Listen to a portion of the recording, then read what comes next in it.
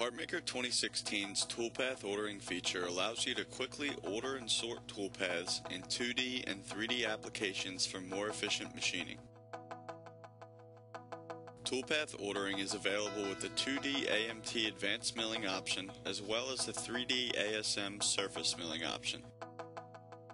Ordering and sorting can be done either on individual toolpaths that contain multiple passes or multiple toolpaths allowing you to sort them by direction or by level. Toolpath ordering eliminates the need to select your toolpaths in the order you want them machined. Using toolpath ordering you can select in any order and let PartMaker do the ordering based on a type of ordering that you choose.